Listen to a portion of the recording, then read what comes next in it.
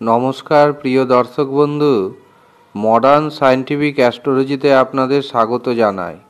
আজকে আমি আপনাদের সঙ্গে যে বিষয়টি নিয়ে আলোচনা করব, সেটি হচ্ছে প্রতি বছর মা দুর্গা বিশেষ বাহনে এসে থাকেন এবং এর ফলে আমাদের জীবনে কিছু সুপ্রভাব এবং কিছু কুপ্রভাব পড়ে থাকে। কিন্তু কেন? তার আগে জানিয়ে রাখি এখনও যারা চ্যানেলটি সাবস্ক্রাইব করেননি, তারা চ্যানেলটি সাবস্ক্রাইব করে পাশের ঘণ্টা আইকনটি বাজিয়ে দিন পরবর্তী ভিডিও পাওয়ার জন্য। এবার জেনে নিই এই রকম ঘটনা কেন ঘটে থাকে।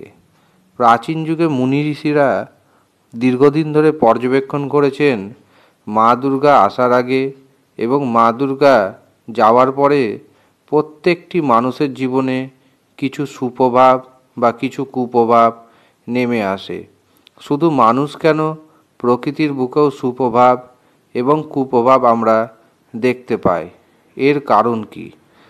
সেই প্রাচীন যুগের মুনি ঋষিরা দীর্ঘদিন ধরে পর্যবেক্ষণ করে দেখেছেন, এর কেন্দ্রে রয়েছে দিন, তিথি এবং নক্ষত্র। অর্থাৎ মা দুর্গা কোন দিন এই পৃথিবীতে প্রথম আসছেন।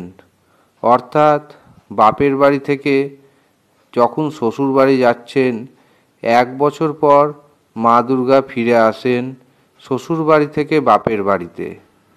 এই আসা এবং যাওয়া কোন নক্ষত্রে হচ্ছে, কোন দিনে হচ্ছে এবং কোন তিথিতে হচ্ছে সেটি বিশেষ গুরুত্বপূর্ণ।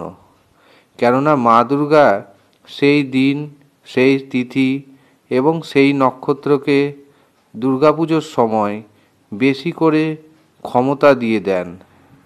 এর ফলে যদি শুভ নক্ষত্র, শুভ তিথি পড়ে, তবে দুর্গাপুজোর পর এবং মা দুর্গা আগমনের আগে আমরা শুভ প্রভাব দেখতে পাই।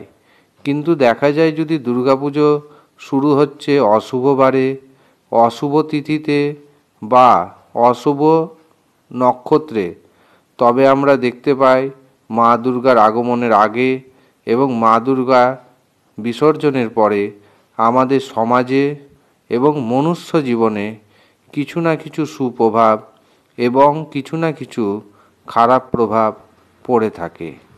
এর প্রতিকারের উপায় হিসাবে প্রাচীন যুগের মুনি ঋষিরা জানিয়েছেন যে, সপ্তমী থেকে দশমী অবধি মা দুর্গাকে ভক্তি ভরে প্রণাম জানিয়ে যথারীতি নিয়ম মেনে পুজো করতে হবে।